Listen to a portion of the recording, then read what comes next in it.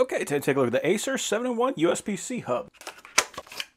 So this is surprisingly nice and is actually a full-on metal hub. We got power delivery for our laptop. We got two USB-A ports, USB-C port, two card slots, and then on the end we've got our HDMI. Now the most important thing for me is that this is a USB-C plug. So I can take my laptop that only has USB-C ports and I can turn that into a USB-A port. And the fact that I got a power delivery right here means I can plug my power supply into that and supply power to my laptop all with one port while still having all these extra ports. So very nice. And Acer has always been very good to me. I've been very happy with the Acer products. So I can run my power supply into there there and then plug the hub into the laptop. And it does say that it's charging. I'm not getting a kind of a low power result. So if I plug in an SD card, picks that up right away. And if I plug in a thumb drive, it picks that up right away. So let's go ahead and check speed.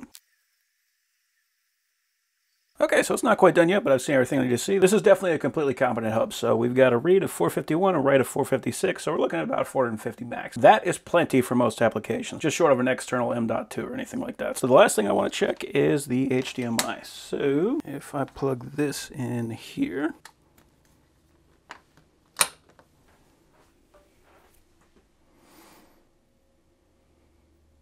There we go. So now I have a dual screen desktop and we can even change that. So now I can move everything from one to the other, can watch videos on one screen, do work on the other, read cards, charge my phone, and all with that one very nicely sized hub. So that is a very good hub.